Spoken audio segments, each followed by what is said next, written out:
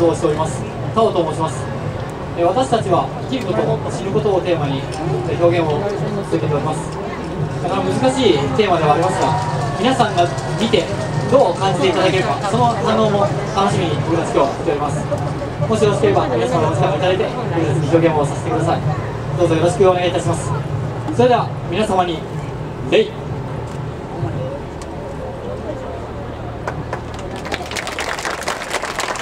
それでは。